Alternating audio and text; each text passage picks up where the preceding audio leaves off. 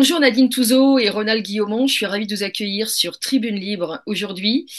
Donc euh, Nadine Touzeau est profiler économique, historique, net profiler, analyste comportementale et chercheuse en comportement des cybercriminels. Et Ronald Guillaumont, qu'on ne présente presque plus, a créé le site Profession Gendarme qui est visité par des millions de personnes chaque mois. Voilà, nous allons donc avec Ronald, puisque nous donnons la parole à des gens qui se voient privés d'un droit de réponse. C'est précieux dans une soi-disant démocratie. Nous sommes donc ravis tous les deux d'accueillir Nadine Touzeau, qui va nous parler de cette affaire euh, très douloureuse, c'est l'affaire d'Agen 2013, euh, qui a été euh, pour elle source d'isolement et de souffrance, isolement professionnel, personnel, etc. Mais je vais d'abord lui donner la parole, car je pense que c'est elle qui en parlera le mieux. Donc bienvenue et nous allons nous tutoyer car vous allez faire une parenthèse sur le tutoiement dans vos milieux respectifs et ce sera bien pour notre gouverne et notre culture générale. Donc vous dites que vive le tutoiement. Donc nous allons nous, tutoyer tous les trois. Bienvenue à vous deux. Je laisse la parole à Nadine puis à Ronald. Bonjour euh, Ronald et Stéphanie. Euh, j'aurais dû dire dans l'autre sens. Je suis très émue. Je suis, je suis très émue. Bonjour aux auditeurs. Je suis très émue parce que ça fait 11 ans que j'attends cela. 11 ans que j'attends qu'on me laisse l'opportunité de m'exprimer sur cette affaire. On m'a refusé mes droits de réponse. Alors merci à Stéphanie Ronald et aux auditeurs qui voudront s'intéresser sur cette affaire parce que on croit que ça n'arrive qu'aux autres. Erreur. Ça peut arriver à n'importe qui. Mais ça arrive surtout à des gens qui dérangent, à des gens qui ne sont pas dans les clous d'un système, à des gens qui ne suivent pas certaines règles, qui vont dans ce système, à des gens qui mettent le doigt sur des vérités. Je regardais ce matin une émission du général Flynn, une interview aux USA, où il a dit quelque chose, j'ai pris note. Ça a été droit dans mon cœur, droit dans mon cœur. J'ai toujours parlé de mort sociale concernant l'affaire qu'on m'a fait, où on a utilisé une histoire qu'on a complètement fabriquée avec des preuves qui n'existent pas, et on a aussi fabriqué une Nadine Touzeau qui n'a rien à voir avec la vraie Nadine Touzeau dans la vraie vie. Où la presse c'est, euh, on, m'a sauté sur le dos comme la pauvreté sur le monde, sans aucune autorisation, sans jamais faire appel à moi, ou si, mais dans de deux rares exceptions, l'une pour me casser, me détruire dans le Parisien, alors qu'il avait écrit dans un email euh, qu'il parlerait de mon métier l'autre, une dame dans une émission très célèbre sur M6 qui avait senti tout de suite la supercherie de l'affaire. Elle a reçu des menaces si elle continuait à faire l'émission. Donc forcément, elle a dû arrêter. Ce sont les deux seuls qui m'ont contacté, mis à part quelques journalistes pour m'insulter. Ils m'ont appelé pour m'insulter. Ou ils ont eu mon numéro de téléphone, sachant qu'il n'a jamais été affiché publiquement depuis très longtemps. Je n'en sais rien. Et ce général Flynn a dit ce matin en parlant de Donald Trump. Alors, la dimension de l'affaire d'Agen et de Donald Trump n'a rien à voir. Mais c'est exactement la même chose. Il y a deux corrélations dans l'actualité aujourd'hui, au moins deux, avec mon affaire d'agent. La première, c'est cet assassinat par le narratif. Il a dit de Donald Trump, on l'a assassiné par le narratif via les médias. Mais c'est tellement vrai, c'est tellement juste, ça percute tellement de se dire, c'est exactement ça. On prend une personne, on invente une histoire, on invente un personnage avec le nom et l'image de la personne sans notre autorisation, sans nous demander quoi que ce soit, et on te flingue partout. Et quand je dis partout, c'est pas que la presse, c'est les commentaires où il y avait écrit partout, on va la tuer, on va la buter. J'ai failli être tuée plusieurs fois physiquement. Plusieurs fois. Grâce à mon métier, j'ai évité des coups de couteau sur Paris une fois. Parce qu'évidemment, comme je vois quelqu'un en quelques secondes, je sais exactement, j'ai vu tout de suite que c'était un tueur. Il y avait la foule, c'était euh, dans le parc face euh, rue de Rivoli. Je sais pas comment je me suis débrouillée. Je suis passée là-dedans, j'en sais rien. J'ai eu très peur. Des accidents de voiture, complètement bizarres, mais ils ont oublié que j'étais pilote. Dommage pour eux. 160 km heure, tu as deux voitures qui te coincent en pleine nuit. Tu vois pas les plaques devant, tu vois même pas les phares. Je sais pas si tu imagines le truc. Une voiture devant, une voiture derrière. C'est chaud. C'est super chaud. Alors 160, c'est pas bien, je sais, il était une heure du matin, j'avais rentré, chez moi, j'étais fatiguée, j'habitais du côté d'Orléans, euh, je revenais de Paris, d'une réunion professionnelle. C'est vrai, c'est pas bien, mais euh, voilà. Il, il, me cherchait, il y avait personne sur la route, personne. Et subitement, je me retrouve coincée entre deux voitures. plein de choses comme ça. Donc, et c'est vrai que ce, je prends ce mot, cet assassinat par leur narratif, c'est exactement ça. Et ça manipule les esprits qui croient en la presse. Enfin, autrefois, ils croyaient beaucoup plus qu'aujourd'hui, parce que on croit que ça existe depuis quatre ans. Mais c'est pas vrai. Ça n'existe pas depuis quatre ans. Quand je dis aux gens, ça fait des années, moi, que je lutte. Et je suis pas la seule. Il y en a même encore, mais il y en a qui sont morts. Moi, ils m'ont pas eu. Dans le dossier, il est écrit noir sur blanc, une fois qu'on l'aura inculpé, on la met en prison, elle y sera suicidée au bout de 15 jours. C'est écrit noir sur blanc. J'ai halluciné quand j'ai vu ça. C'est des amis de la défense qui m'ont sauvé la peau. Et ils m'ont dit, tu peux pas être inculpé, il n'y a pas de preuves. Mais je rentrais experte auprès des tribunaux, justement via ces amis, parce qu'ils m'ont dit, on a besoin de toi pour faire le nettoyage. Alors forcément, comment on bloque un expert auprès des tribunaux Eh bien, par une, euh, une comment dire, une accusation juridique, tout simplement. Il faut qu'elle ait un, je sais plus le mot exactement, une inculpation juridique comme quoi elle a, elle peut plus, tu peux plus être expert auprès des tribunaux. Après, c'est terminé. De la même manière qu'ils m'ont enlevé deux années de contrat. J'avais deux ans de contrat devant moi. Tout type de contrat avec des gens de la défense aussi. Ils les ont appelés l'un après l'autre pour stopper tous les contrats. Je l'ai su par une personne qui m'a appelé, qui m'a dit, écoute, dit nous, on te connaît. On sait comment ça marche. On rentrera pas dans le jeu. Ils les ont tous appelés pour me faire une mort sociale, que j'ai plus de business, plus rien. Je travaillais.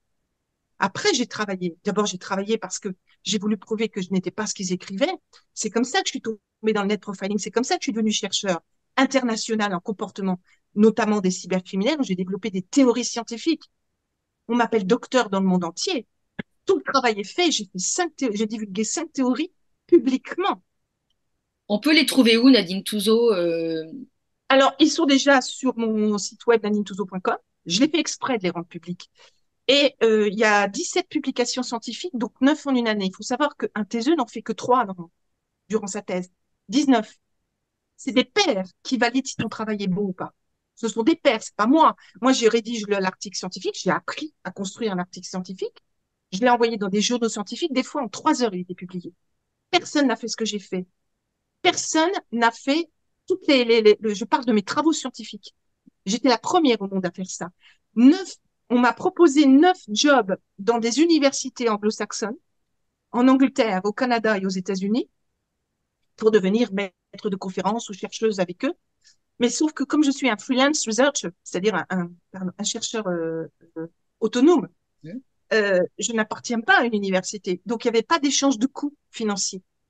Je n'ai pas pu.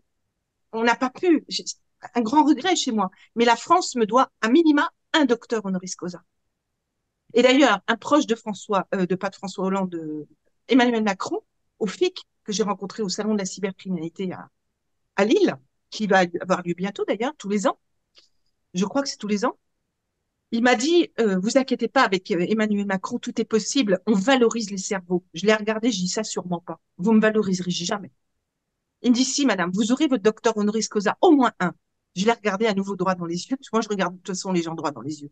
J'ai dit, je n'aurai rien. J'ai vous rêver, monsieur. Je dis, c'est gentil de me le dire, c'est gentil d'y penser. Oui, la France me le doit, mais certainement pas sous ce régime. Parce que ce régime fait partie de ceux contenter de me tuer. Il m'a regardé étonné, mais, mais non, pas du tout, madame. Et je l'ai jamais eu. Je le sais très bien. Donc oui, c'est un assassinat par le narratif que j'ai subi, au même titre Rainer Fulmich actuellement, c'est le deuxième parallèle. Je sentais que c'était une sale affaire. Je sentais que c'était un coup fourré. Ça vibrait trop fort en moi. Je me suis pas penchée sur le sujet faute de temps. Et euh, parce que j'ai fait son profil à Rainer Fulmich, quelqu'un de très bien, de très droit. C'est une très belle personne. Et j'ai rencontré des gens de la défense. Je, en côtoie énormément. Et il y en a un jour, dit, on, t'as des infos sur Rainer Fulmich? Il me regarde et me dit, oh oui, ça va te rappeler une sale affaire. Je le regarde. Mon sang n'a fait qu'un tour. En même temps que j'avais la réponse, il me dit, ton affaire d'agent. C'est exactement la même chose, sauf que lui, il est allé en prison. Ils l'ont pas encore tué. Et j'espère qu'ils le tueront pas. Sans preuve. Les allégations. On te montre un dossier. J'avais, j'avais des gens euh, que je côtoyais, hein, et il y en a un que je ne connaissais pas, mais il m'a invité, non convoqué. Les gens de la défense savent très bien faire la différence avec ce mot-là. à la DGSE. Il est en retraite, ce brave homme. Un monsieur très haut placé. Il avait comme quatre secrétaires pour lui. Très haut placé. Et quand tu arrives à la piscine, ce qu'on appelait la piscine, euh, t'as pas de salle d'attente dans le sens propre du terme, c'est des alcôves. Tu attends et on se voit pas les uns les autres, on est séparés les uns des autres. Pour les autres invités, c'était les secrétaires qui allaient chercher, invités ou convoqués, j'en sais rien. Moi, c'est lui en personne qui venait me chercher dans ce grand couloir. Et on faisait le monde pendant deux heures. Et il m'expliquait, vous, vous êtes vert de chez vert, votre dossier, il est nickel. Si j'avais ne serait-ce qu'un quart de mon personnel comme ça, je serais peinard. Donc, il est vert de chez vert. Tout va très bien. Euh, mais il a fallu, comme pour d'autres, quand on voulait détruire, qu'on invente une histoire sur vous, puisqu'il n'y a rien. Donc, on a créé une histoire pour vous détruire. Nadine, vous voyez quelqu'un en quelques secondes, vous savez exactement à qui vous avez affaire. Vous pouvez profiler jusqu'à sa sexualité. On vous a découvert sur le terrain. Vous faites peur. Moi, je voudrais vous recruter. Personne ne me donnera de budget pour vous. Vous faites peur. Dans un monde de corrompus, comment voulez-vous qu'on puisse recruter quelqu'un comme vous? Ce sont ces mots. Ce sont ces mots. C'était un type très bien. un malin, hein, comme tous ceux de la DGSE, plus ou moins espion. Ça, ok, mais c'était un type très bien. Et a, il m'a donné un maximum de réponses. Il m'a donné un maximum d'éléments. Il a essayé de me placer dans plusieurs entreprises. Ils n'ont jamais voulu me recruter. Parce qu'évidemment, j'avais besoin d'argent pour nourrir mes enfants. Alors, j'ai travaillé en usine. J'ai travaillé un peu partout. Mais je regrette rien. C'est très bien de revenir à certaines choses. J'ai supplié, entre guillemets, un de mes amis qui était chef d'entreprise à Orléans, puisque je réitère, j'habitais à côté. À Saint-Jean-de-Bray, exactement. Les Orléanais, c'est des pourritures. Faut voir comment ils m'ont enfoncé. Faut voir comment ils m'ont enfoncé. Ceux aussi me doivent des excuses. Sud Radio, Alex Wagner, et je dirais un nom, je dirais très peu de noms, mais celui-là, je vais le dire, que j'ai aidé gratuitement, juste avant. Il s'est fait en papaouter. Il m'a téléphoné quand j'étais au du retour du tribunal à Agen. La deuxième séance, je crois. Parce qu'il y a eu deux. La première, c'est qu'il y a eu un vice de forme par la juge. Je j'y connais rien, donc je sais plus trop ce qui s'est passé. Donc, ça a été reporté en janvier, mais cette fois-ci sans la presse. Parce que la presse était là pour me lyncher. Fallait voir le, c'est grand, hein, le, grand couloir du tribunal d'Agen. Il est immense fallait voir le bénis qu'il y avait là-dedans. J'étais la meurtrière, j'étais l'assassin, j'étais pire qu'une terroriste. Quand on voit que dans la presse, les noms des terroristes, les noms des assassins, les photos des assassins ne sont même pas cités. J'étais traitée plus bas que terre, mais certainement pas au regard de la réalité du dossier. Et on y reviendra après. Mais pour revenir sur cette affaire, je reviens sur Alex Wagner, euh, que j'ai aidé gracieusement, que j'ai sorti de, la mouise gracieusement il m'a appelé quand je sortais du tribunal sur la route et il m'a dit, je pensais pas qu'ils iraient jusque-là. J'avais dit à mon avocat, ils sont en train de préparer un coup foireux contre moi. J'avais tout observé sur les réseaux sociaux et tout. Sud Radio, je m'amusais à les appeler toutes les semaines parce que j'avais une émission chez eux à ce moment-là. Toutes les semaines, je faisais une petite émission de profilage. Et ils l'ont coupé. Et j'ai dit, il y a quelque chose qui va pas. Mais je savais que c'était en lien avec ça. Alors que l'affaire, je rappelle, a eu lieu à Agen. Hein. Donc, ils sont venus, ils m'ont, ils m'ont fouillé partout. Hein. Partout. Ce qui est illégal. Jusque devant mon domicile, mes enfants, tout partout. Ils ont contacté partout. Ils ont appelé tout le monde pour que j'ai plus de contrat. Partout. Quand je dis partout, c'est partout. Hein. Euh, ils ont, je suis sûre qu'ils sont venus chez moi investiguer. C'est derrière mon dos. C'est très facile à faire, sans que je m'en rende compte. Cet Alex-là m'a dit, je pensais pas qu'ils iraient jusque-là. Il m'a dit, si tu as besoin d'aide, te, appelle-moi. Tu, me prends pour qui, euh, Alex? Tu me prends pour qui? Un pigeon? Et j'avais dit à mon avocat, ils sont en train de faire des trucs, il ne m'a jamais cru.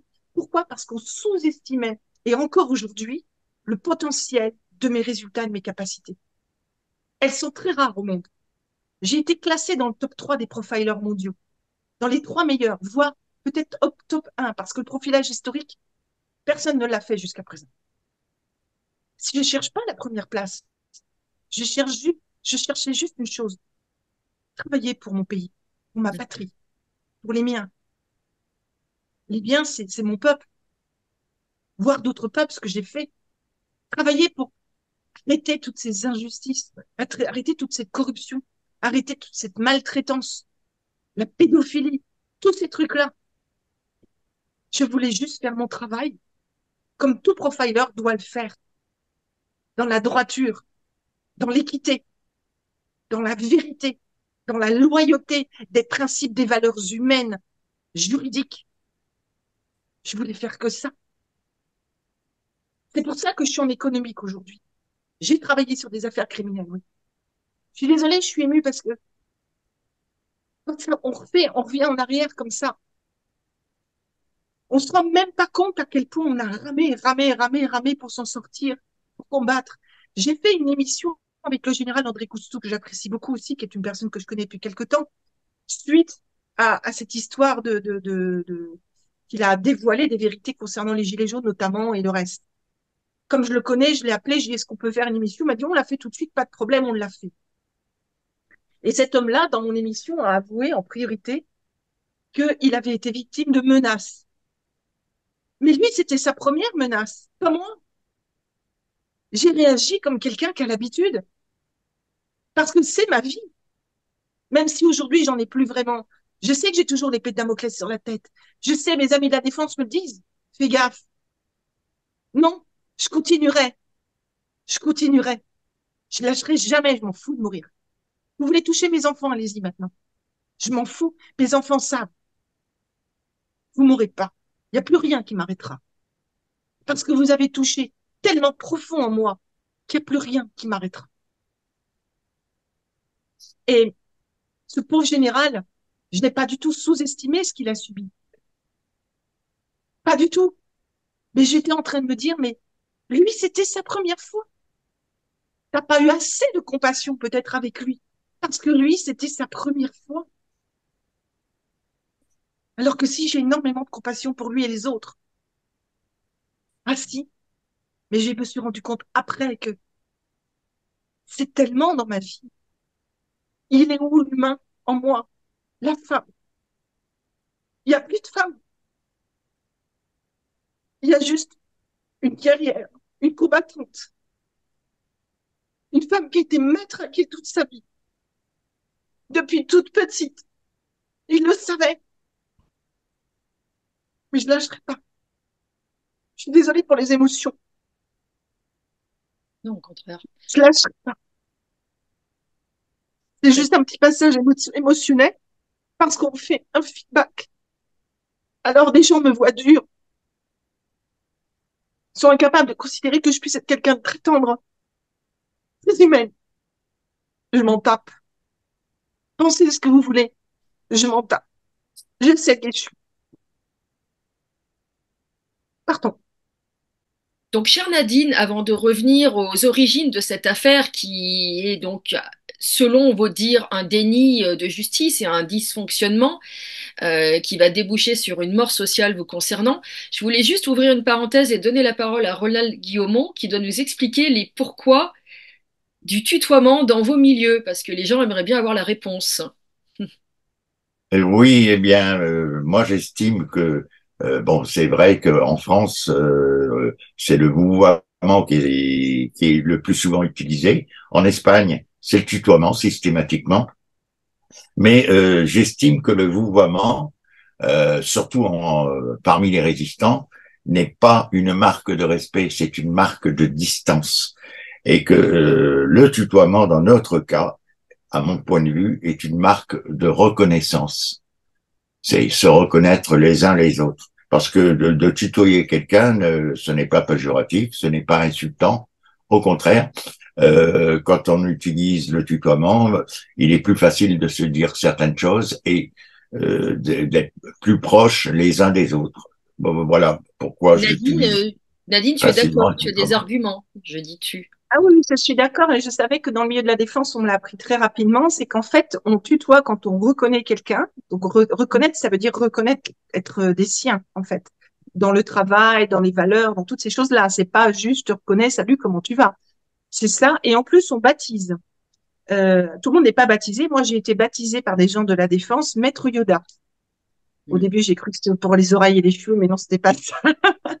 Donc j'ai trouvé ça très sympa. Ils ont parlé en moi de, de courage, de sagesse et de, de, de, combativité. Et du coup, c'est pour ça que mes étudiants, je les ai baptisés des Padawans. Non des Jedi, parce que ça fait un peu trop guerrier. Côté arme, alors que les Padawans, c'est plutôt euh, l'arme au niveau du cerveau. Et, euh, et que je préfère ça. Je les salue d'ailleurs parce que Ce sont des gens Mais je voudrais ajouter, Nadine, euh, euh, raconter une toute petite anecdote. Euh, quand j'ai fait mon école de gendarmerie, ça c'est ce qu'on m'avait appris. malheureusement, je ne crois pas qu'aujourd'hui les jeunes gendarmes ont les instruits dans ce sens-là. Mais quand je me suis retrouvé en brigade à discuter avec le vieux monsieur, bien évidemment, ces gens-là, ces, ces anciens, je les vous voyez, mais dès que l'intéressé euh, avouait ou euh, m'annonçait qu'il avait été gendarme, le tutoiement venait systématiquement pour lui dire je te reconnais, tu fais partie de ma famille, tu es un ancien gendarme et quel que soit l'âge de la personne que j'avais en face de moi, je le tutoyais tout de suite. Ça, c'est exactement ça. D'accord. Très bien, merci pour, euh, pour euh, cette information et pour notre culture générale aussi, parce que selon les milieux, il y a des us et coutumes euh, différentes. Nous allons revenir à cette affaire d'Agen 2013 où dites, tu dis, Nadine, que tu as eu donc une mise à prix. Ta tête était mise à prix. Alors, je ne sais pas si, si on peut dire que ma tête était mise à prix, mais disons que il fallait impérativement me détruire. Donc, il y a une somme à huit chiffres je ne divulguerai pas puisque je, mes, preuves sont, dilapidées et cachées et de, et de façon très intelligente au cas où il m'arriverait quelque chose à moi et mes enfants. N'importe quoi, hein. une bricole, n'importe quoi, une suspicion d'eux, on remonte pas systématiquement, euh, tout sera divulgué. Et je l'ai fait de façon intelligente, c'est-à-dire que chacun a un bout de dossier, mais j'ai laissé un tout petit bout d'un dossier qui relie à un autre et ainsi de suite. Et les personnes ne se connaissent pas entre elles. Très bien. Donc, c'est euh, très. Bah, tu sais, j'avais du lourd devant moi, hein, je, parce que c'est une affaire d'État. Donc, c'est au plus haut niveau que j'ai été attaquée. Est-ce que tu euh, peux nous raconter cette affaire depuis le début, de A à Z, pour euh, des spectateurs qui sont quand même assez nombreux à ne pas la connaître, l'affaire d'Agen 2013, et évidemment, pour expliquer qu'il y a quand même des gens, des personnalités politiques impliquées, tu donneras certainement des noms, des noms d'emprunt. Oui, alors déjà, euh, elle n'est pas connue, mais en même temps, euh, je fais un aparté. Euh, dans la presse, elle est toujours au top niveau, au niveau de moteur de recherche, pour la simple et unique raison, c'est qu'ils ont mis des algorithmes pour qu'elle reste à très haut niveau, ce qui est illégal. Je l'ai fait contrôler par de mes amis cybercriminels, pas cybercriminels, ce qu'on appelle des white hats. Aujourd'hui, on appelle ça les white hats. Ce sont des gens qui sont du côté de la lumière, etc. Mais en fait, c'est d'autres codes dans notre métier. Et en fait, c'est quelqu'un d'éthique, de très haut niveau euh, mais militaire français qui vit à l'étranger d'ailleurs, parce qu'il était en lien également avec mon affaire. Son affaire et la mienne étaient en lien. Il ne voit plus ses enfants depuis des années, pour information. Et pour sauver sa peau, il a dû quitter le pays.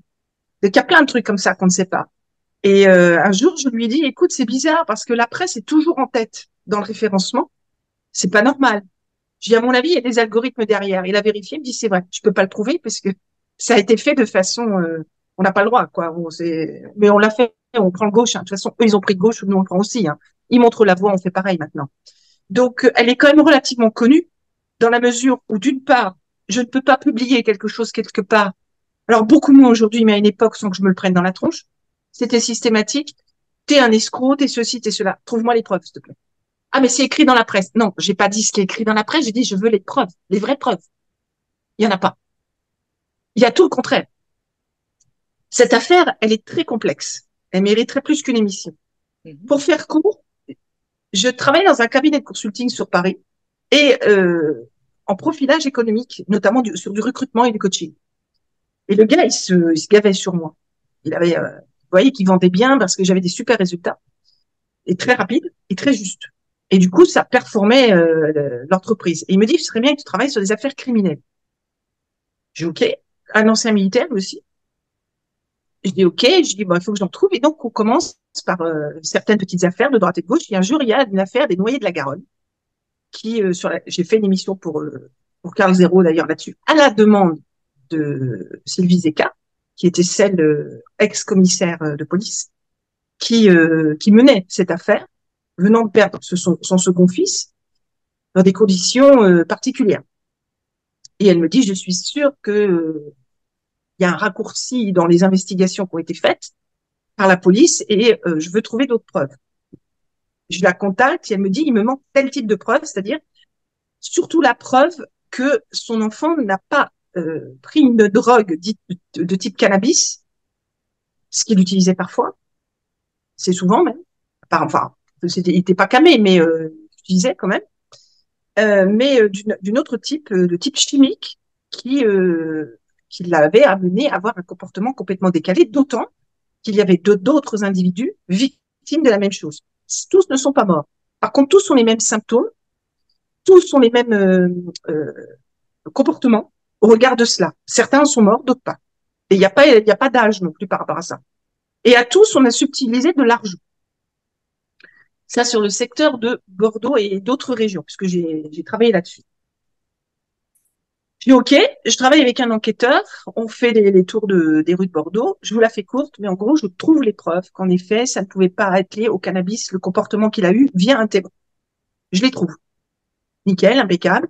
Je fais en même temps le profilage de, du défunt, qui a été corroboré par six personnes, dont elle, son mari, la petite amie du défunt, un copain, je sais plus qui, euh, parce que moi, je fais toujours contrôler mon travail. Donc à 100%, ils sont hyper contents, hyper d'accord. Elle, parle de moi partout, euh, tout va bien. Elle m'invite chez elle avec mes deux enfants. On voulait pas y aller, ni les enfants ni moi, parce que c'était lourd à porter. On, on, y est allé pour lui faire plaisir, mais c'était très difficile. C'était vraiment euh, hyper difficile. De toute façon, à chaque fois qu'on allait chez eux, c'était quand même très difficile. Ce qu'on peut comprendre, l'ambiance était un peu particulière. Hein, je ne juge pas. C'est voilà. Bon, euh, donc tout se passait très bien. Et elle me parle de d'une famille à Agen qui a perdu son fils aussi dans des conditions un peu particulières. Et il y a des liens avec ce qui s'est passé à Bordeaux, notamment une zone où il y a une discothèque et tout. Je la fais courte.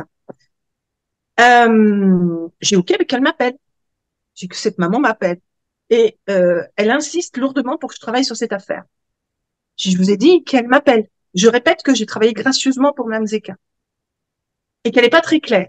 Mais je ne dirai rien publiquement encore une fois, parce qu'elle m'a, elle s'est permise de m'attaquer après quand l'avocat qui m'a attaqué, parce que c'est un avocat qui m'a attaqué en correctionnel à Agen, ce qui est la loi. Je n'ai pas fait l'objet ni d'une garde à vue, ni d'une d'une enquête, rien du tout. Cet avocat m'a attaqué. C'est du, c'est du pur délit de sa gueule pour me tuer, tout simplement. Donc, euh, donc euh, il a été contacté, Sylvie Zeka, et là, elle a complètement viré sa cutine. C'est remonté jusqu'à Orléans. C'est à partir de ce moment-là que c'est remonté jusqu'à Orléans contre moi. Et qu'ils ont euh, toutes les personnes que je connaissais, même le moindre boulanger, tout ce que je connaissais, ils ont été les voir, dont Alex Wagner aussi, et d'autres, des élus qui m'ont cassé, qui m'ont qui m'ont critiqué publiquement. Hein. donc cette personne finit par me contacter Madame B, on va dire Madame B, ils ont pas dit le nom dans la, dans la, elle ne, je crois qu'elle travaillait pas ou elle avait un petit boulot, je sais pas exactement. Il était au plein cœur d'Argent, en face du tribunal. Il y avait juste un grand parc. Je le précise parce qu'ils sont jamais venus au tribunal. C'est étonnant, hein, quand tu veux, quand tu as quelqu'un que tu as envie de vraiment voir détruit et tout, bah, tu vas le voir. Puis tu attends la, la, la, sentence, tu vois, tu attends les coups et tout pour dire je vais détruire cette personne. D'ailleurs, un petit parallèle aussi amusant. J'ai vu des photos de Rainer Fulmich dans la presse. Vous voyez les miennes, c'est exactement la même expression. C'est juste impressionnant. Quand je l'ai vu, je me voyais. Pourtant, j'ai pas lu la presse contre moi. J'ai rien lu, hein, je voulais pas. J'ai dit, ça va encore en mettre encore plus cher. On m'a raconté des trucs, mais ça va en mettre plus cher. Je discute avec elle par téléphone. Je lui dis, écoutez, moi, euh, là, à brûle pour point, je, ne vois rien de particulier concernant votre affaire. Écoutez, vous me payez le billet de train, je viens vous voir, on discute. Ils me payent le billet de train, je vais chez eux, et tout le long du trajet de la gare jusqu'à chez eux qu'on a fait à pied, on parle de cela. J'arrive chez eux direct, ils commencent par me dire, là, vous voyez, les lauriers, ils ont bougé comme ça le, le lendemain quand on a, quand on est revenu de vacances, parce qu'ils étaient en vacances quand leur fils est mort. C'est la première fois qu'ils partaient en vacances sans leur fils, qui avait 19, 20 ans, je ne sais plus exactement. Jean. Là, par contre, je vais dire le prénom. Jean B. Monsieur est chef d'entreprise euh, sur Agen, travaille avec beaucoup d'huile politique. Il vendait de la pierre euh, pour, euh, pour faire toutes les réflexions des voiries. les routes, les trucs comme ça, les, les, les, comment on appelle ça, les parkings, les, les trottoirs, tous ces trucs-là. Donc, il travaillait avec toutes les, les grandes huiles, notamment Bordeaux, etc. La région, hein. Et euh, donc, quand on sait comment ça se passe ces marchés-là, on sait ce qui se passe derrière. Il m'a avoué, lors de, des discussions qu'on a eues, qu'il s'était fait prendre par la brigade financière avec 300 000 euros dans une valise en liquide, destinée à ces gens-là. Et que depuis ce jour-là, il avait reçu des coups de fil particuliers qui raccrochaient systématiquement au téléphone, anonyme, dont on ne pouvait pas retracer les numéros. Un an après, son fils est mort. Déjà, je plante le décor.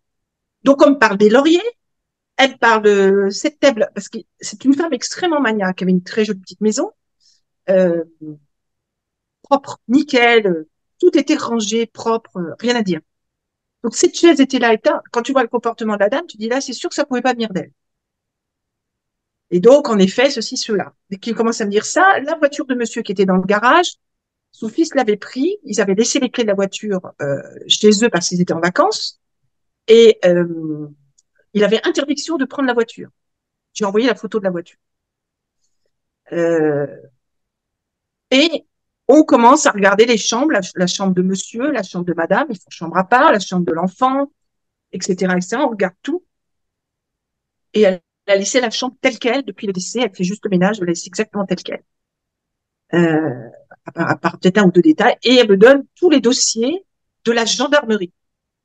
La gendarmerie a fait l'enquête là-dessus et ils ont conclu en hypothèse conclusion suicide. Ils ont dit que c'est un, une hypothétique suicide. Tes parents, hein, tes mamans, je pense que Ronald aussi, moi je suis maman, tu me dis que c'est une hypothèse, moi j'avale pas. Tu, c'est un suicide ou c'est pas un suicide? Tu, c'est quoi l'histoire là? Tu, tu peux pas me dire que c'est une hypothèse. T'as les preuves, c'est un suicide ou pas? Donc déjà, ça plante le décor. Mais moi, un peu naïvement, je dis ok, je vais faire mon travail. Aujourd'hui, j'aurais dit attends, là j'ai compris l'histoire, on arrête. À l'époque, j'avais pas compris. Je savais pas. J'étais encore très naïve dans mon monde un petit peu bisounours de euh, la justice existe, la corruption, euh, on peut la, supplanter, on peut la chasser, etc., etc. Complètement à côté de la plaque. Euh, enfin, pas complètement, mais en tout cas un peu. J'étais, j'étais vraiment dans mes valeurs.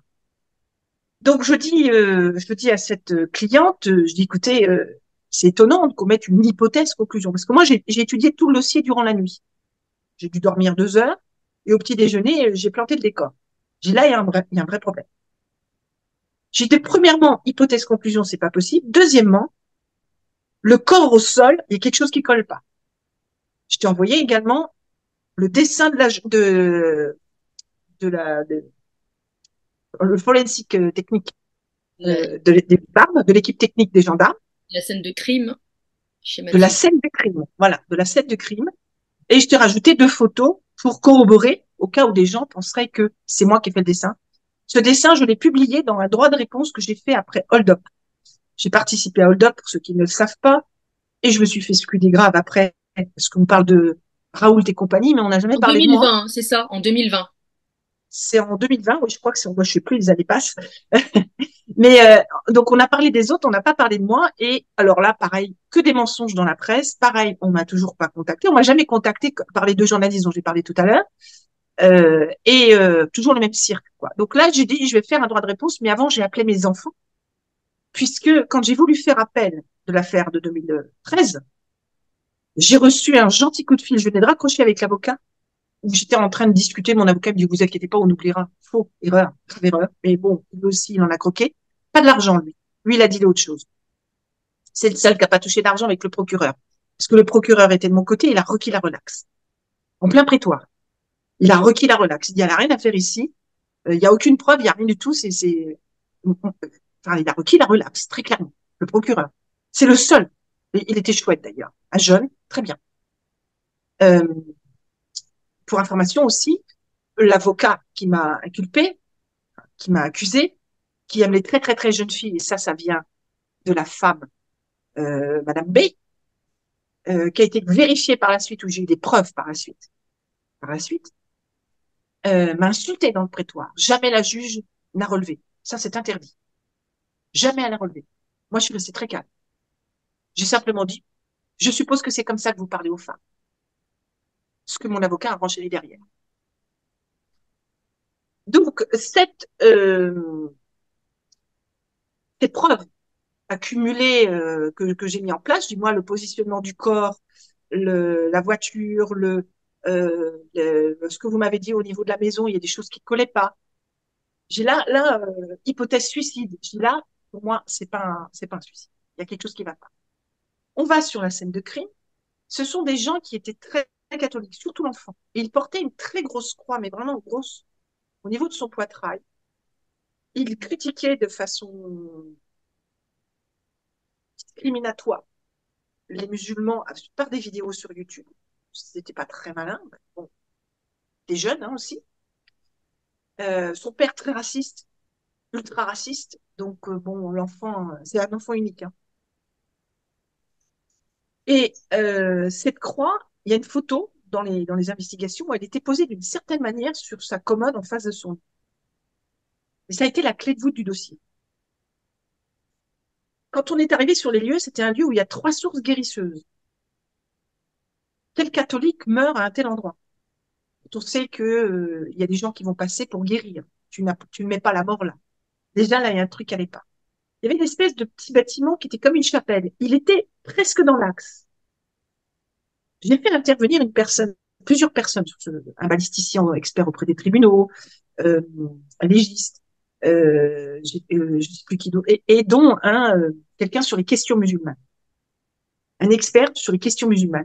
J'ai euh, pendant deux nuits sur Orléans, parce qu'Orléans il y a des zones très chaudes, hein, déjà depuis très longtemps, camouflé. J'ai observé les deals dans la nuit, ce qui se passait dans la nuit. Très intéressant. J'ai appris beaucoup de choses. Comment ils faisaient, ils pratiquaient, etc. Je parle des, des, des délinquants. Hein. Euh, parce que j'ai des amis musulmans, ils pratiquent pas comme ça du tout. Ils vivent pas du tout comme ça. Euh, et sur ces questions musulmanes-là, il m'a dit, tu vois là, on est exactement dans le sens de la Mecque. C'était quasiment dans le sens, en effet, de la bâtiment qui était prise plus ou moins pour une chapelle, mais légèrement décalé, mais par contre pile poil dans le sens de la Mecque. Le corps, la tête était dans le sens de la Mecque, quand il est tombé au sol. Je dis là, il y a un bug. Mais ça, c'était après, parce qu'on est revenu une deuxième fois pour faire ça. Et on n'est pas revenu une troisième fois parce qu'on a pris cher. Parce que des choses qu'on m'a interdit de dire au tribunal, que je vais dire aujourd'hui. Euh, Monsieur B a demandé une arme à cet expert musulman sur les questions musulmanes, les pratiques musulmanes dans la délinquance. Il a demandé une arme. Et là, nous, ça nous a refroidi direct. On est tout de suite, quand on est rentré de ce lieu, on est monté dans la voiture, on est parti direct. On a dit on arrête. C'est pas écrit euh, par gendarme ou je sais pas quoi. C'est pas du tout notre job. Et ça, on m'a interdit de le dire au tribunal. Sans me donner la raison, là, d'ailleurs. Mais je le dis aujourd'hui. N'importe quoi. Ça nous a fait vraiment peur. À un tel point, c'est qu'on est rentré, on ne pouvait même plus manger, rien du tout, on avait l'estomac noué, on s'est dit plus jamais, plus jamais, plus jamais. Et c'est là que les ennuis ont commencé. Le corps au sol ne pouvait pas être sujet à un suicide par arme, fusil, un fusil lourd, je crois que c'était un 12 de mémoire, dont le fusil a été retrouvé à un mètre sur le bout du canon du corps, 90 cm au niveau de la crosse, creusant l'air. En gros, il se tire en plein cœur, le, cœur a explosé, le, point d'entrée était au niveau du cœur, mais le point de sortie est plus bas, au niveau de la colonne vertébrale. Donc ça veut dire que le fusil était complètement décalé en hauteur il aurait été à genoux ou debout pour faire ça. Mais euh, tu veux te flinguer, tu te le mets là, le fusil, hein, tu te le mets là, ou tu le mets dans l'estomac, ou dans le cœur, direct, mais par le bas, pas par le haut, parce que ça exige de la force. Alors le balisticien m'a dit, on a la bonne longueur de bras jusqu'à la, la détente, clairement. Mais il m'a dit, c'est pas logique. C'est, c'est qui fait ça, quoi? Déjà, tu te mets fin à, à tes jours, tu es catholique dans un lieu de, de guérison catholique, euh, des sources guérisseuses, euh, et en plus, tu vas te faire du sport pour te, te flinguer. Ben, qui fait ça? Donc ça, personne ne l'avait mis dans le travail. C'est moi qui, ai mis ces choses-là. Et ensuite, le corps est ton droit au sol, mais avec les pieds écartés et la tête légèrement penchée sur la gauche. Et les bras comme ça. Relevés comme s'il avait été en fait comme ça à l'origine. Avec les pieds écartés, les genoux au sol, ça match complètement. Sur mon tapis, je l'ai testé avec un balai, je sais pas combien de fois ce truc-là. Avec le gars sur les questions musulmanes, justement, parce que c'est lui qui habitait pas loin de chez moi. Les autres étaient trop loin. J'ai envoyé ça après au balisticien, on faisait des vidéos, on partageait. Les mecs, ils disent là, ça colle. Ça colle ton truc. Sur le fusil, le fusil était cassé sous le lit de monsieur, avec deux cartouches dedans. Quand madame faisait le ménage, elle passait sous le lit, mais elle se préoccupait pas du fusil. Ils n'ont jamais nettoyé. À, même carrément avoir oublié qu'il était sous le lit. C'était juste une protection. Ce que beaucoup de gens font. D'accord? Eh bien là, on le retrouve en pleine forêt, totalement prof, propre, sauf un millimètre de déjection biologique sur le bout du canon qui correspond à l'ADN de la victime. Vous m'expliquez, t'as même pas une empreinte, au moins de la victime. T'as rien. Hypothèse, suicide. Bah, tu m'étonnes que c'est une hypothèse. Juste pour dire ça, hein, parce qu'il y a plein de choses. Il y a des trous, mais il y a plein de choses. Et moi, je remonte à un élément où je dis, il ne peut pas venir là sans y avoir été invité en convivialité. Il peut pas avoir sauté dans la voiture de son père alors que c'était interdit sans avoir été invité en convivialité. Donc comme c'était un, gentil garçon propre sur lui, tout, tout bien quoi, pas forcément un grand étudiant, il prenait l'affaire de son père. Son avenir était tracé, tout était tracé, tout allait bien. Beau gosse, impeccable, amoureux d'une jeune fille. Alors tout le monde a mis ça sur le fait qu'elle voulait pas de lui. On ne doit pas trouver de preuve qu'il était si amoureux que ça. Il était, il était entiché, mais il y avait pas, c'était pas non plus euh, euh, la folie quoi je pense qu'il y avait beaucoup de jeunes hommes qui étaient entichés d'elle. C'est une très jolie jeune fille. Je l'ai, je l'ai euh, interrogée, elle aussi. J'en ai interrogé quelques-uns. Et donc, on se retrouve, euh, il est obligé pour moi d'être monté dans la voiture avec quelqu'un, et j'ai identifié qui, qui est une taupe, qui est quelqu'un de pas fiable du tout, de ses amis, pour aller là-bas et probablement emmener quelqu'un pour qu'elle se fasse guérir sur l'une de ces trois sources ou sur les trois sources. C'était le piège. La voiture était garée normalement, proprement, sur le petit parking. Euh, C'était le piège. Ce sont des, des promeneurs avec des enfants qui ont découvert le corps. Jamais Jean aurait voulu cela. Jamais. On n'a trouvé aucune lettre de suicide. On n'a trouvé aucun indice qu'il ait suicidé. On ne sait pas comment il a pris le train pour revenir chez lui alors que c'était pas prévu. Il a pris le train, mais on n'a pas suffisamment d'éléments. Les caméras, personne n'a pris des éléments de caméra dans les gares et tout ça. Personne. Durant l'investigation.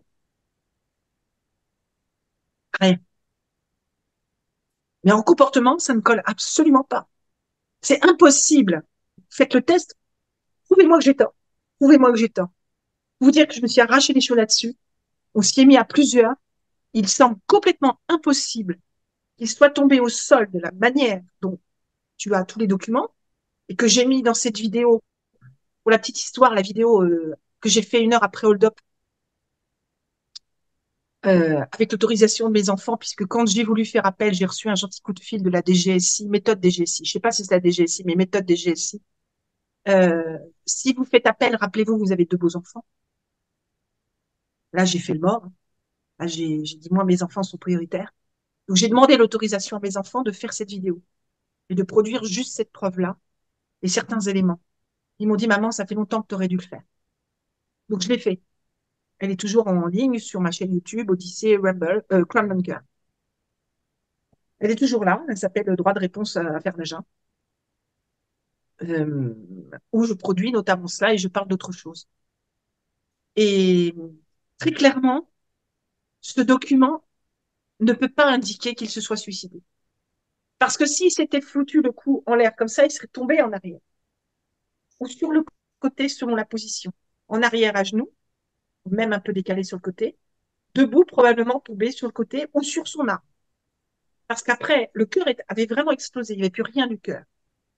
Il est impossible qu'il ait pu jeter son arbre à un mètre de lui. C'est impossible. je veux dire, t'es mort. Euh. Ah non, j'ai ressuscité quelques secondes pour jeter l'arbre et après je suis mouru à un moment donné, il faut arrêter les bêtises. J'irais même jusqu'à dire qu'un bon enquêteur l'aurait vu. Pas besoin d'être profiler pour tout voir. Au moins certains éléments. Donc clairement, j'avais toutes les preuves, tous les éléments pour dire non, votre fils n'est pas mort là. Qui l'a tué? Qui l'a tué? Moi, j'ai fait le profil de qui l'a tué. Les, les, questions musulmanes, pour les personnes qui veulent se venger, dans la, dans la culture musulmane, on va s'attarder, on va atteindre plus exactement la personne qui est la plus proche ou, l'élément qui est le plus fort en vous. Qu'est-ce qui est le plus important? C'est pas vous qu'on va détruire en premier, c'est ce qui est le plus important. Et chez Monsieur B, c'était Jean, son fils. D'autant qu'il reprenait l'affaire, tout, toute sa carrière, tout ça. L'argent qui a été pris dans la valise, quand il s'est fait prendre avec l'argent dans la valise, était en lien avec des personnes musulmanes dans les banlieues de Bordeaux. Sachant que cette personne-là s'en était royalement bien sortie. Mais toujours ce lien dans ces familles-là, il est redevable par rapport à l'univers d'où il vient. Et comme il s'est retrouvé en prison, pour moi, c'est une vengeance. Donc, j'ai jamais pu écrire, j'ai fait un rapport en hypothèse-conclusion. Hein. Tous mes documents ont été publiquement révélés. Dans, les, dans la presse, c'était confidentiel, donc la confidentialité n'existe plus. Ça tombe bien. Je révélerai peut-être un jour ou pas, on verra comment on se comportera avec moi. Ça va bien. Un journal, euh, je dirais plutôt un torchon euh, détective, là, ou je sais pas quoi, un truc. Je l'ai eu au téléphone avec mon avocat, le mec soi-disant ex-gendarme, je crois justement il avait mon tableau de, de, technique, qui est un tableau que je faisais sur euh, pour les enquêtes, c'est-à-dire que je collectais toutes les informations. Qu'est-ce qui s'est passé tel jour à telle seconde, etc. Qu'est-ce qu'on a eu, quelle est mon analyse, etc. C'est un tableau. C'est un tableau que j'ai appris quand j'ai eu mon diplôme Paul Ekman, euh, que des, pratiques du FBI. J'avais juste deux colonnes de plus. C'est exactement le même. J'hallucinais quand je le voyais. Eh bien, il a dit c'est de la merde tout ça toute façon, tout le monde disait que c'était de la merde tout ce que j'avais fait. Personne, sauf cette fille de M6, euh, qui a arrêté parce qu'elle perdait sa place. Hein. Elle, a, appelé tout de suite mon avocat. Elle dit, écoutez, moi j'ai reçu les menaces, je peux pas faire l'émission. Mais euh, votre cliente, euh, c'est un piège. C'est clair, c'est un piège. Maintenant, je, ça me le confirme encore plus. Personne ne s'est penché dessus. Personne ne s'est dit, mais attends, qu'est-ce qu'elle a fait la fille? C'est quoi Sauf les gens de la défense. Ou là, ils ont dit, ça, c'est du bon boulot. Et quand j'ai fait mon droit de réponse après l'affaire Hold Up, le documentaire Hold Up, j'ai reçu énormément de messages pour dire bravo, très bon travail. Mais je sais que j'ai fait du bon travail. J'aurais pu l'améliorer. On aurait pu rajouter encore d'autres professionnels pour le performer. Mais je le sais. Et je sais qui a tué. Je sais pourquoi on a tué. Je sais comment. C'est le père qui est responsable. Je l'ai jamais écrit. J'ai jamais pu. J'ai fait des hypothèses conclusions. Je fais toujours des hypothèses conclusions aussi. Pourquoi? Parce que je détiens pas la vérité. J'étais pas là sur place et tout. Il y a toujours des nouveaux éléments qui peuvent arriver. C'est comme ça que je travaille. C'était un torchon quelque part le travail que j'ai remis, non pas sur le qualitatif qui était très bien, mais sur le la, rédaction. Je suis handicapée visuel et si je me relis pas bien, parfois je fais des fautes de frappe, des trucs qui peuvent être euh, pas terribles, surtout quand je suis très fatiguée. Et là, j'ai fait aucun effort. Je les, je les supportais plus ces gens. Je les supportais plus. Je les supportais plus parce que je les avais sur les dos constamment. Sur, enfin, elle, tout le temps, parce que, oh mon Jean le vaut bien, s'il vous plaît, continuez, parce que moi je voulais arrêter le travail, première fois que j'ai venu à Agen. Donc le soir, après avoir fait des investigations et tout, avant de déplucher le dossier dans, dans ma chambre, on est allé dîner au restaurant. Et le type, il a commencé par insulter ma famille. Ma grand-mère était pas bien. Elle était limite mourante à ce moment-là. Et elle est décédée peu de temps après. Il insulte ma famille. Je dis, écoutez, monsieur, vous je vous autorise pas, vous n'avez pas faire ça. Vous êtes qui pour faire ça? Alors, la région, il y a beaucoup de machos. Hein. Lui, euh, il est dans le top du top des machos. Elle, femme soumise, euh, chambre à part. Euh, il avait sa maîtresse et tout. Il lui a pas dit, mais moi, je le savais très bien. Il en avait au moins une. bref. Et il me draguait devant elle. Il me draguait ouvertement devant elle. Et ça, c'est justement ce gars qui était venu avec moi. Il l'a vu, il était hyper gêné moi, j'étais gênée, mais lui, hyper gêné, encore plus. Forcément, avec moi, c'est ce genre de choses, ça, ça marche pas du tout, quoi. Et il arrêtait pas de m'enquiquiner. Vous coûtez cher, vous me valez cher. Mais le prix de 6 000 euros qu'on a négocié, entre guillemets, négocié, sur un banc en mangeant une glace en face de chez eux, il me dit, c'est ce que me coûte mon avocat. Ça vous va, 6 000 euros? Si vous voulez. Moi, je me rendais pas compte. Je me rendais pas compte si c'était un bon chiffre ou pas. Ces 6 000 euros, c'est rien du tout parce que 6 000 euros, c'est sur au moins quatre mois avec d'autres experts qui, m'ont rejoint. Moi, j'aime pas le mot expert, mais bon, on va, on va faire court. Euh, des voyages, des trucs, des, des investigations. Enfin, c'est long, c'est rien du tout, 6 000 euros. Il y a des gens qui sont offusqués là-dessus, mais euh, non, j'ai rien gagné sur cette affaire. J'ai rien gagné. J'ai été inculpé. Il fallait m'arrêter. Euh, donc, j'ai rien gagné. Et, j'ai gagné à apprendre quelque chose. J'ai gagné à avoir révélé une vérité sur cette affaire. J'ai gagné à me faire connaître par rapport aux résultats rapides que je pouvais obtenir et précis qui ont fait extrêmement peur au plus haut niveau, puisque c'est là que j'ai été attaquée. J'ai gagné à connaître des gens de la défense qui m'ont sauvé la peau. Je ne le remercierai jamais assez. Euh, même si je suis plus trop en contact, parce que c'est comme ça que ça marche aussi parfois. Mais je suis très protégée, très surveillée. J'ai gagné à travailler mieux sur moi, à apprendre sur moi, à performer des, des éléments me concernant. Je n'ai aucun, euh, comment dire, aucune envie de vengeance ou quoi que ce soit le regard. Je sais très bien que les lois de l'univers feront bien mieux que ce que je pourrais moi-même envisager, si j'avais envie de l'envisager. J'ai rien du tout. Ce sont des pauvres âmes, des pauvres personnes, corrompues, pourries jusqu'à la moelle. Ça leur appartient, ça ne m'appartient pas. J'ai fait ce qu'il fallait faire. On m'a utilisé, on m'a joué. La femme que j'ai accompagnée, Madame B, je lui ai même créé un, truc Facebook, une page Facebook pour que tout le monde discute sur Jean, euh, j'ai eu des emails tous les jours. J'enterrais ma grand-mère, elle venait encore me casser les pieds ou le jour de l'enterrement. J'enterrais mon oncle deux, mois et demi après. C'était le dernier de la famille. J'étais la dernière représentante devant ce cercueil. Tous les, tous les, les, comment dire, les, tombes derrière de toute ma famille. J'étais la seule. C'est la seule fois qu'on m'a tenu debout tellement je pouvais plus. Euh, c'est la seule fois de ma vie qu'on m'a tenu de chaque côté. Euh, eh ben non, elle m'emmerdait encore. Elle m'emmerdait encore. Quand j'ai reçu les citations à comparaître euh, en correctionnel par le huissier qui me dit la première fois, Madame, c'est très grave. Moi, je comprenais pas, j'avais rien fait de mal. On me dit, Madame, c'est très grave. On m'a traité d'escroc, tentative d'escroc. J'ai rien fait. De voleuse aussi. J'aurais volé le portable et tout. Mais pas du tout, j'ai rien volé. Euh, absolument faux. Tout était complètement faux. Il fallait trouver des fausses preuves, comme a dit le gars de la DGSE. Hein.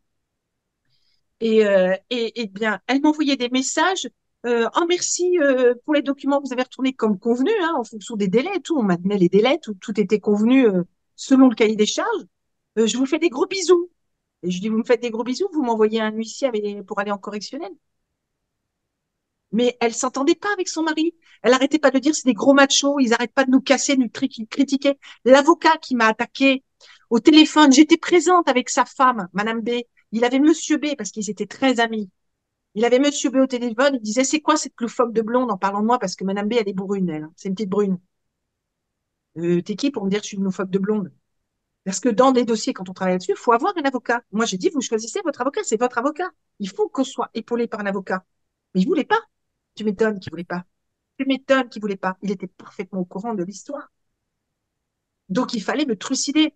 Ils m'ont vu un jour avoir un discours avec Monsieur B, il y avait Madame B et un de leurs amis à table. Monsieur B ne disait rien. Par son comportement, je savais ce qu'il voulait dire, donc je faisais les réponses. J'ai au moment où je me trompe, vous m'arrêtez, ça a duré cinq minutes. C'est moi qui ai arrêté, j'en avais marre. Ils m'ont regardé, ils me dit, vous êtes voyante, quoi? Je dis, non, je suis profiler. J'ai vu son comportement, je savais ce qu'il voulait dire. Donc, je faisais le dialogue, mais moi, je prenais le verbal, lui était dans le non-verbal. Tout ça, ça a été rapporté en haut lieu. Les autres disent, cette nana, elle, elle dérange, là. Et donc, après, tout le monde m'a viré sa cutille contre moi. J'ai pris cher, très cher, pour rien, sans preuve. Mais ils ont tous grassement pris de l'argent. La République du Centre, à Orléans, un journal qui était en faillite à ce moment-là. Subitement, tout s'est bien passé après. Huit chiffres sur mon dos. La juge et ses copines. Il n'y a que le procureur qui a rien pris. Et mon avocat n'a pas eu d'argent. Tu as été accusé de quoi précisément? Et qu'est-ce que tu as J'ai été accusé de tentative d'escroquerie. Mhm. Tentative d'escroquerie sur une virgule. Mais comme m'a dit, euh, tu demandes à n'importe quel avocat, ils vont dire de toute façon, on trouvera toujours des preuves pour trouver euh, le moyen de t'inculper. Hein. Ça, c'est facile. Hein. C'est rien de plus facile. Tu les aurais escroqués de combien et sur la base de quoi? Alors, euh, bah, peut-être les 6 000 euros, mais c'est bah, je suis une profiteuse et non une profileuse. En fait, on dit profiler. Hein. Je l'ai expliqué dans une de tes émissions. Le profileuse, c'est deux autres anciens métiers que je respecte, donc c'est profiler. c'est que abus de faiblesse, abus de pouvoir, j'en sais rien, toutes les conneries. Je, je me suis même pas préoccupée de ça. Je me suis pas préoccupée. J'ai commencé à apprendre à tourner la page parce que j'ai quand même tenté de me suicider.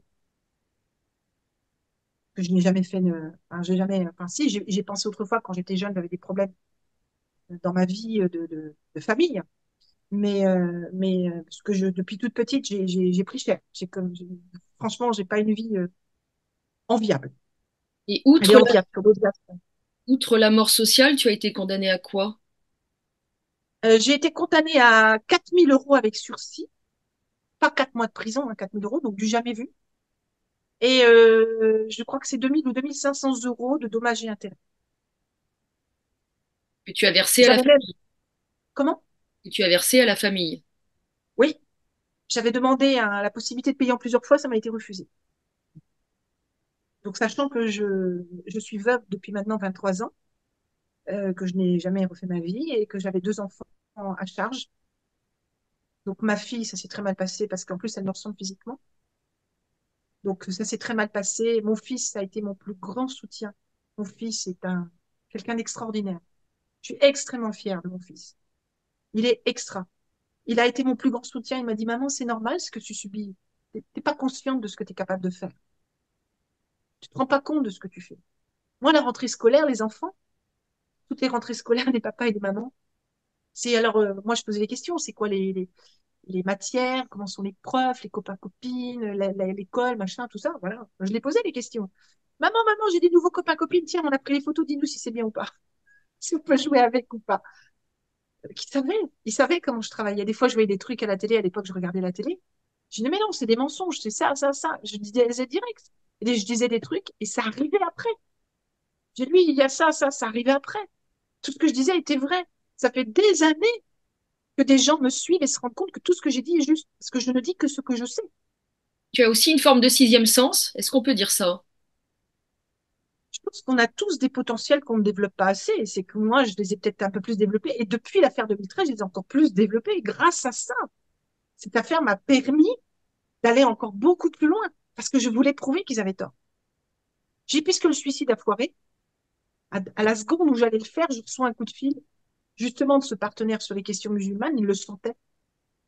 il m'a dit, je t'aime, mais c'est un je t'aime, euh, je sais pas comment dire, on a le droit de t'aimer, quelque chose comme ça. Et j'ai fondu en larmes. Il me dit, je crois que tu allais faire une connerie. Oui. J'avais tout préparé. Et euh, qui est le coupable selon toi, si tu toutefois tu peux le dire? Non, je peux pas le dire, mais euh, j'ai dit suffisamment, j'ai donné suffisamment d'indices et d'éléments pour le savoir. Je sais, je ne sais pas qui exactement précisément. Il faut savoir que sur l'affaire Zeka, j'ai fait aussi une hypothèse euh, conclusion, un rapport qui a été présenté à la police euh, bordelaise. Ils voulaient m'arrêter. C'était tellement précis jusqu'à la, couleur des vêtements, le, type d'endroit qui fréquentait les sports. Je connaissais pas Bordeaux et je connais pas plus Bordeaux, même si je suis à une heure aujourd'hui. J'aime pas Bordeaux. Je vous dis franchement, j'aime pas cette ville l'atmosphère ne me convient pas. Euh, eh bien, ils croyaient que je les connaissais. Et à l'époque où Zeka, elle était structurée entre guillemets parce qu'elle est très influençable pour plein de raisons, euh, dont certaines qui sont légitimes, du fait d'avoir perdu ses, enfants notamment. Euh, le reste non. Euh, donc, euh, donc elle a, euh, elle elle a dit non non, c'est son métier, elle est comme ça et tout, tout ce qu'elle a fait, c'est comme ça. Et l'avocat qui était avec elle, qui était un type très bien, qui était du sud de la France, qui a été évincé par celui qui m'a attaqué, euh, qui, qui, est d'ailleurs à Agen, à Agen, absolument pas apprécié. Il a un cabinet à Paris à Agen, pas du tout apprécié à Agen. Pas du tout, du tout. Mais il y a des gens qui m'ont parlé, qui m'ont dit, hein.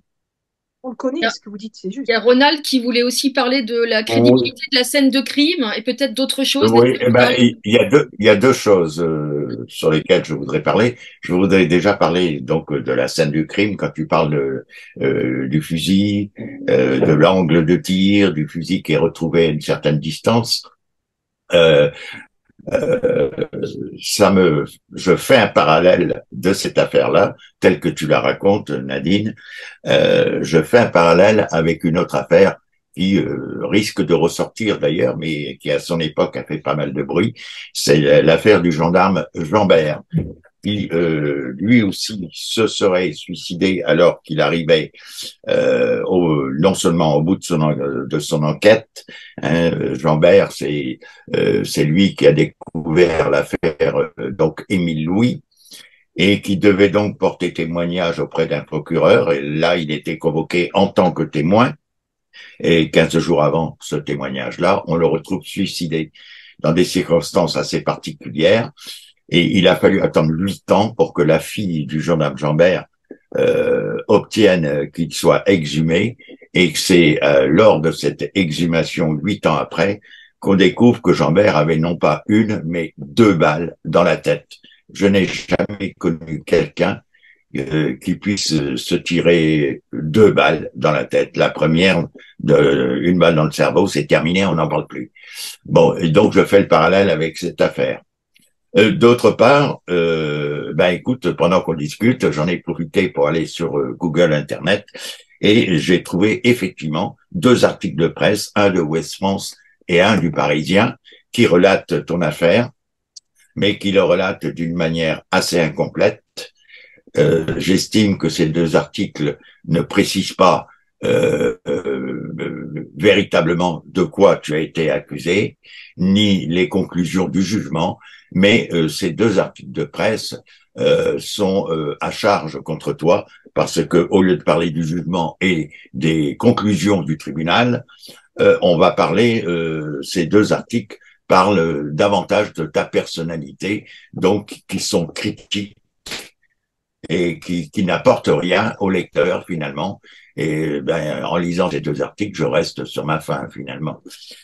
Donc voilà ce que je voulais dire. Voilà, donc je vais dans ton sens, absolument. Je te remercie infiniment parce que ton regard est précieux, Ronald. Tu connaissais pas l'affaire avant cette émission. Et, euh, et c'est précieux parce que de par ton métier que tu as exercé et que je pense que tu as très bien exercé avec passion, de par aussi euh, ton expertise, ça fait tellement d'années aussi que tu euh, travailles sur, sur des, des tas d'histoires diverses et variées. Donc ton regard est précieux, un de plus, mais un de plus précieux à mes yeux. Bon, visiblement, à la lecture de ces deux articles, et ceux qui nous écoutent là aujourd'hui hein, n'ont qu'à taper ton nom sur Google et ils vont les retrouver.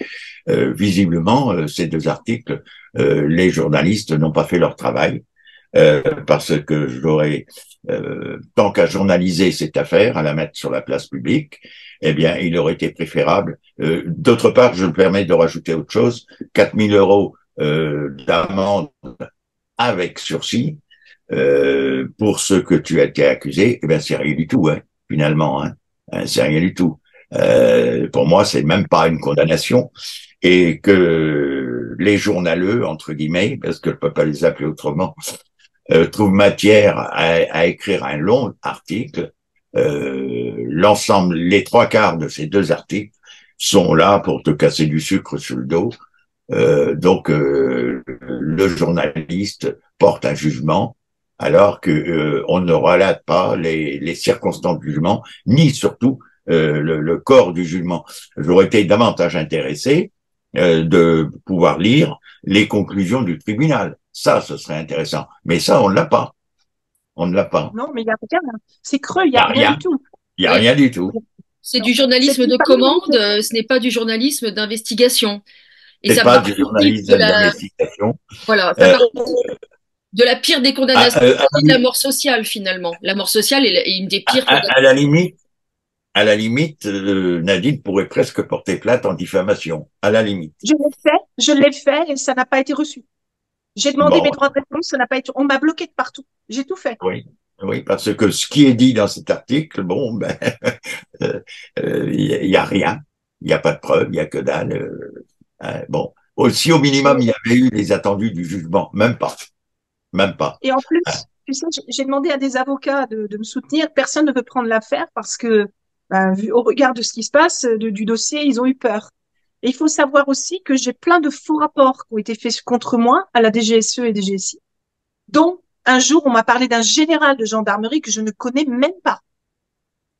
Et oh, tous ces faux rapports, parce qu'aujourd'hui ils font des profils par algorithme. Tu vois, ils font des profils par algorithme à la DGSE. Et dernièrement, on m'a fait mon profil. En gros, je suis cruelle là. Je te la fais courte parce que c'est, ça, vient, ça vient pas de moi. Hein. de toute manière, euh, euh, quelqu'un qui fait son travail, si j'avais été journaliste, je ne suis pas journaliste, euh, on t'a accusé d'une tentative d'escroquerie. Je précise bien, tentative, non pas d'escroquerie, mais de tentative. Déjà, il faudra apporter les éléments d'accusation, donc la tentative, en quoi elle consiste, déjà. Ensuite, eh ben, il nous manque les attendus du jugement.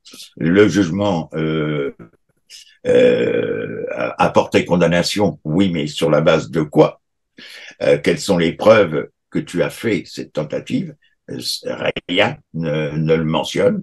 Non, euh, les deux articles que j'ai lus sont à charge contre toi et on ne parle même pas de l'affaire, on parle euh, de ta personnalité simplement. Hein, que, que tu que, voilà, c'est tout. Donc euh, pour moi, ces deux articles c'est complètement détaillé n'apporte rien. Oui, je sais, je sais. Je les ai pas lus, mais c'est ce qu'on m'a dit. Voilà. On m'a dit qu'on n'a pas arrêté de me casser et qu'en plus c'était faux. Les gens qui me connaissent m'ont dit c'est pas du tout toi. Euh, en plus, on m'a dit quelques, j'ai pas retenu, mais on m'a dit quelques éléments. Ils m'ont dit ça. Des... Moi j'ai dit mais ça c'est pas congruent sur un profil déjà. Ça marche pas. Mais par contre, juste pour information, ils ont construit des faux rapports contre moi à chaque fois pour me casser pour empêcher les gens de travailler avec moi, notamment des gens de la défense. Parce que qu'est-ce que font les gens de la défense quand ils veulent travailler avec quelqu'un? Mais ils, regardent sa réputation, mais au niveau défense. Et c'est fait par bah, des euh... n'importe comment. Alors les gens ne travaillent pas. Quand je connais pas quelqu'un, j'ai ce fameux réflexe, bien que euh, sur Internet, on ne trouve pas euh, que, euh, on ne trouve pas la vérité, mais on, on, trouve au moins des éléments. Quand je ne connais pas quelqu'un, je vais chercher sur Google ben, euh, ce que je peux trouver et euh, ensuite, euh, je vais pas dire que je fais mon jugement, mais je me fais une opinion au moins. Hein, mais euh, au minimum de savoir à qui j'ai affaire et à qui je parle. Et, là, quand je lis ces deux articles, bon ben, je pense que certains de nos auditeurs aujourd'hui feront comme moi, iront lire ces articles, et je veux t'assurer que ces articles n'apportent rien sur l'affaire judiciaire qui est relatée. Donc c'est facile de dire un tel est un escroc ou, a fait une tentative d'escroc, hein, mais excusez-moi. Hein. Bon, euh, Désolé, j'ai mon téléphone ah, c'est pas grave. C'est ce qu'on appelle une coquille vide. Donc finalement, ça me rappelle ce que, ce que Idriss Aberkan appelle un, une, un character assassination. Euh, comme quand sur Wikipédia, euh, les gens qui ont mis en, en, en, cause le narratif Covid ont leur petit paragraphe conspirationniste ou complotiste. En fait, c'est un assassinat social d'une personne. Et Là, je suis désolée, Stéphanie, j'aurais préféré avoir ce petit paragraphe-là parce que là, les incidences ne sont pas les mêmes de ce genre de, de, Je rappelle que j'ai eu une mort sociale, je ne pouvais plus nourrir mes enfants. Je rappelle que mes deux ans de contrat, je les avais plus. Je rappelle que derrière, on a tenté de me tuer à plusieurs reprises, que sur les forums, il y avait des tas de commentaires où on voulait me trucider. Je pouvais plus sortir de chez moi. Je rappelle quand même que des gens m'ont flingué du regard ou verbalement dans le peu de réunions où j'ai assisté dans Orléans notamment. Des gens qui me connaissaient, qui n'ont jamais pris la peine de prendre le téléphone pour me dire Nadine, c'est quoi l'histoire? Hmm. On m'a jugé par la presse. J'aurais préféré juste être catalogué complotiste que je suis de toute façon aussi. Ça, ça, je m'en fous complètement. Là, il y a une incidence très lourde. C'est tombé aussi sur mes enfants. Être complotiste, c'est un honneur. Hein. Comment?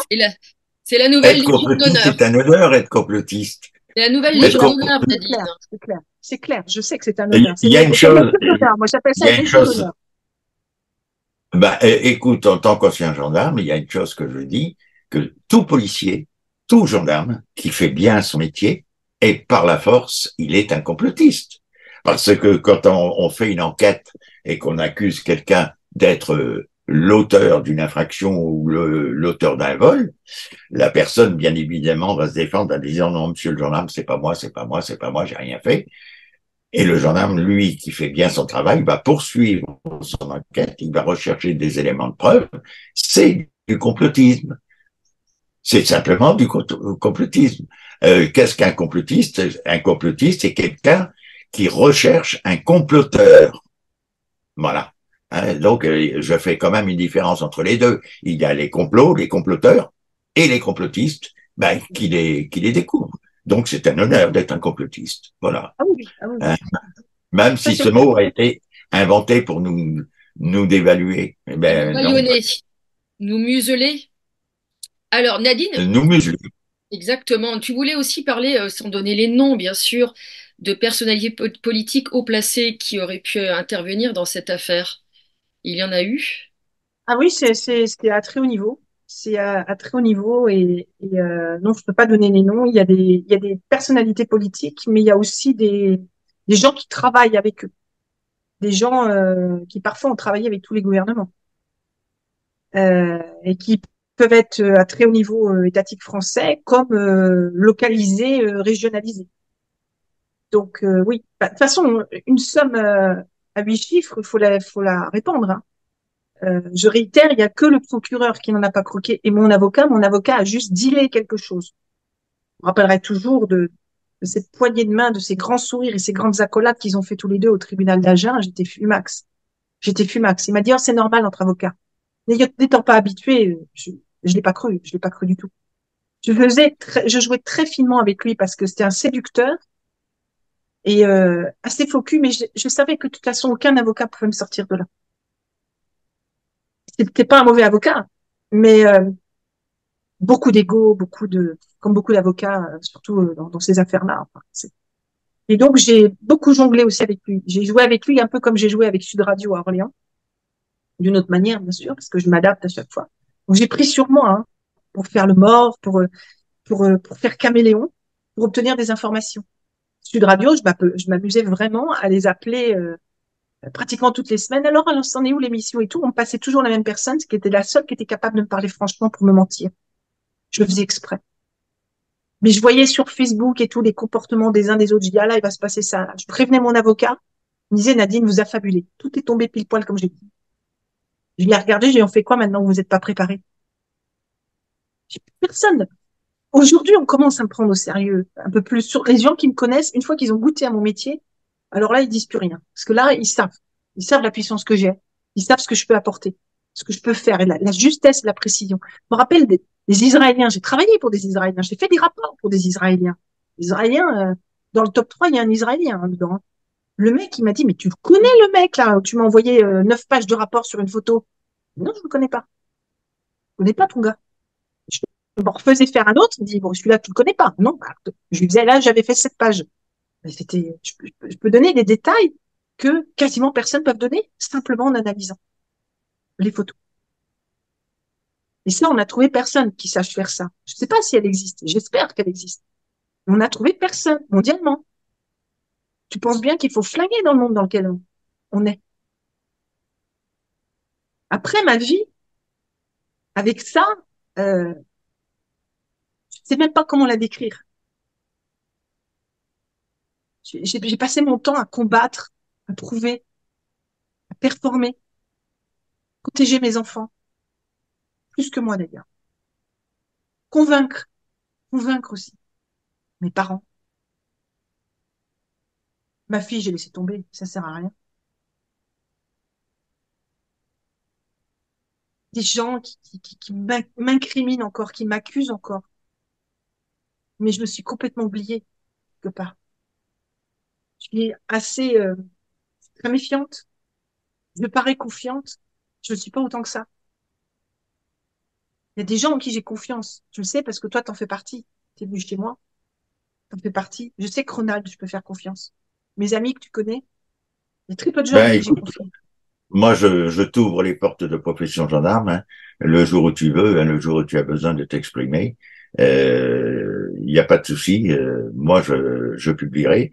Il faut savoir que je suis indépendant, que je reste neutre, que je reste indépendant, et c'est ce qui est mon point fort. Et euh, je peux très bien publier euh, à des charges, mais je peux publier à charge également. Euh, d'ailleurs, euh, si j'ai été entendu par la DGSI, euh, c'est bien à cause de cela. Et cette audition que la DGSI a fait m'a imposé quelque part. ça a été le but fondamental était de m'impressionner et de me faire peur, car Profession Gendarme prend une ampleur, euh, je ne vais pas dire qui me dépasse, non, je ne vais pas me laisser dépasser, mais à laquelle je ne m'attendais sûrement pas quand j'ai créé ce, ce, site. Donc, ben écoute, Professeur Gendarme, euh, je t'ouvre très grand les portes, il n'y a pas de souci. Euh, merci infiniment. C'est infiniment. Ben, c'est la, la moindre des choses. Nous sommes des gens qui cherchons la vérité Hein, et moi, j'estime que la vérité, même si elle met du temps à monter les escaliers, finit toujours par arriver. Et quand on dit la vérité, il n'y a aucune difficulté. On n'a pas besoin de la déguiser, la vérité.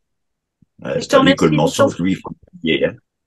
Ça fait partie de notre métier, même si on, je considère qu'on la détient pas, mais de faire le maximum pour aller vers cette vérité. Je, te remercie encore plus parce que là aussi, on m'a beaucoup cassé au niveau euh, ce qu'on appelle des résistants, des, vrais résistants. Hein. Je parle des résistants militaires ou tout ça, où il y a des gens j'ai eu plein de messages derrière mon dos qui ont dit non, non, elle surtout pas. Et ces gens ont dit mais nous on la connaît, on sait comment elle est, et c'est vous qui va fermer la porte. Ces gens-là font un, un, un jugement sans, sans, savoir, ils entendent le premier son de cloche. Moi, je, je et en tout, je suis comme ça. Je suis toujours parti du principe qu'il faut écouter tout le monde, que ce soit en politique, que ce soit, euh, il faut écouter tout le monde si on peut pour pouvoir apporter un jugement si on veut se faire une opinion. Et avec mes lecteurs, c'est ce que je cherche. D'ailleurs, je m'exprime assez rarement sur mon site à titre personnel, car j'ai pris conscience d'une chose, c'est que ma parole euh, commence à prendre de l'importance. Et ça, c'est pas de l'égocentrisme du tout.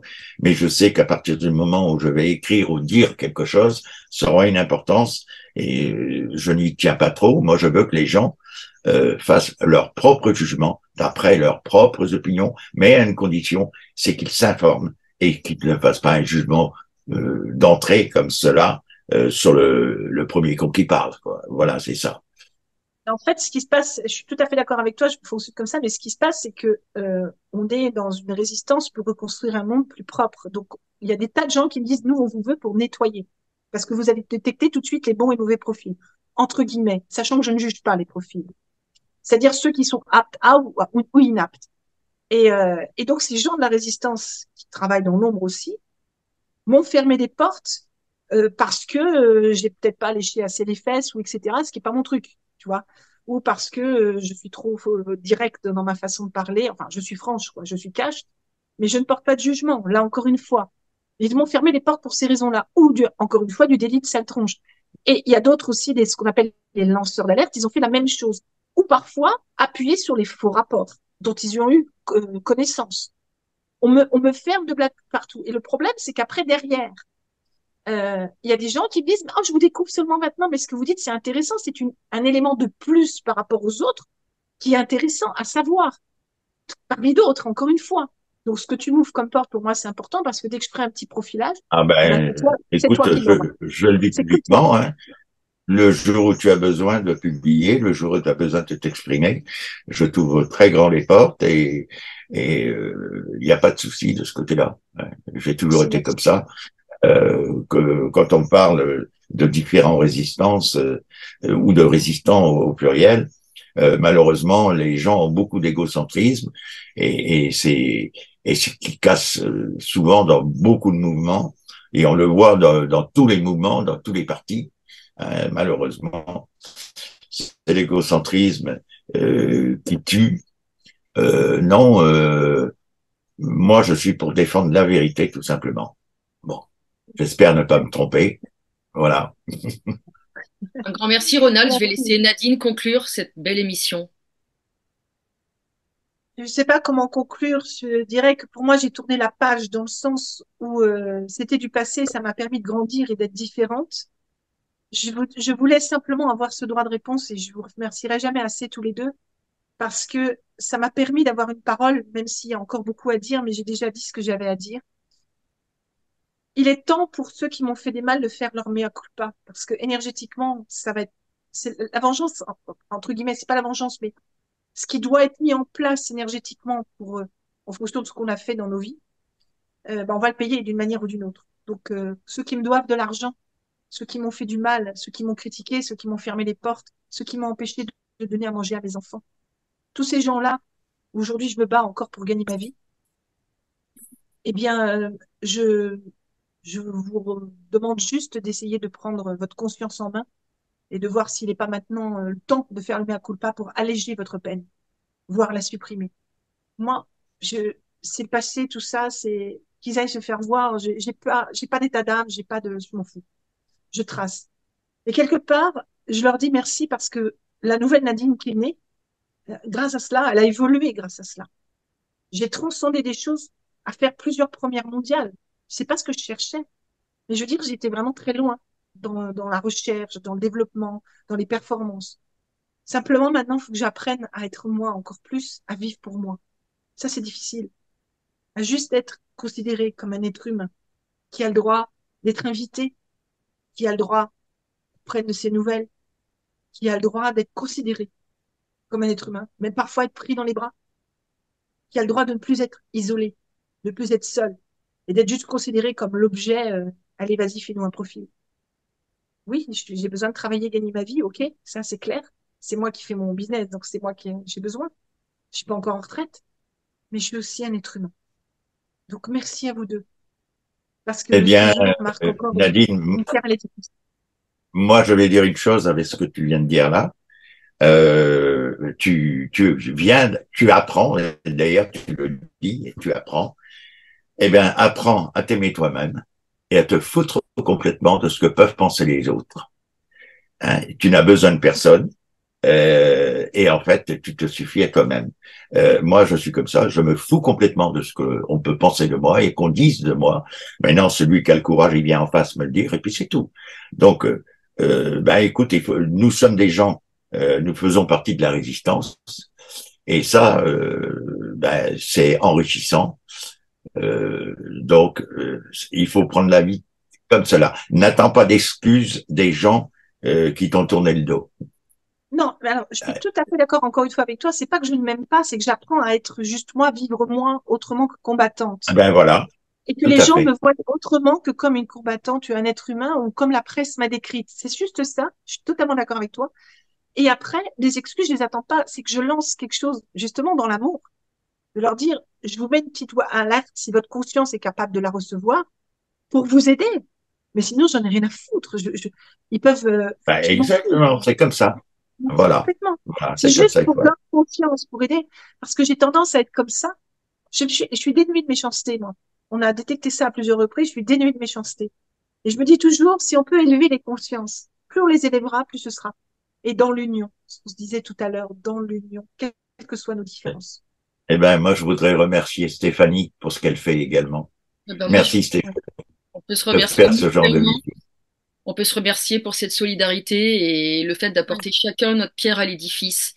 En tout cas, j'ai été très émue par cette émission et je vous remercie infiniment tous les deux, Nadine Touzeau et Ronald Guillaumont. Merci. Merci à vous deux aussi. Merci. Allez, au revoir et à une prochaine. Avec plaisir.